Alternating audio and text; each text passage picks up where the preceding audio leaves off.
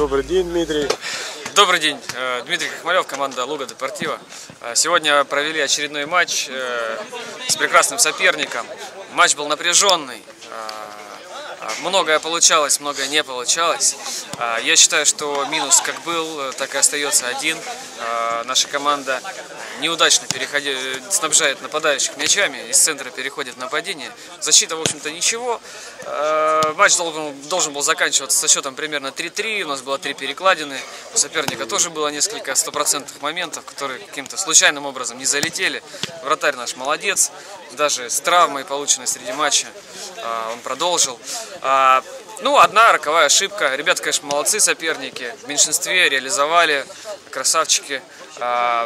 Ну, а мы колясочники. Надо тренироваться дальше. Решающий матч впереди. А, Надеюсь, что все будет у нас хорошо. Спасибо. Ну, вам нужна чистая победа.